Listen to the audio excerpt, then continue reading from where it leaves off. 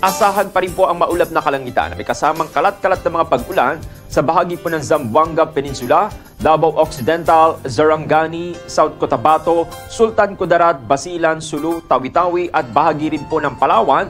Dulot pa rin po yan ng nararanasang Intertropical Convergence Zone or ITZZ ngayong araw po ng Webes. Batay po yan sa 5 o'clock AM Weather Bulletin ng Pag-asa.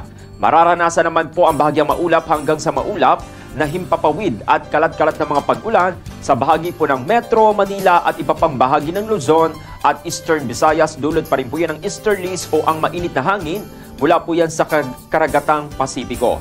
Samantala, bahagyang maulap hanggang sa maulap na papawirin at kalat-kalat na mga pag-ulan ang mararanasan naman sa natitirang bahagi ng bansa Dulot pa rin po yan ng localized thunderstorm. Sa kasalukuyan, wala pa rin pong binabantayang low pressure area o LPA sa Philippine Area of Responsibility.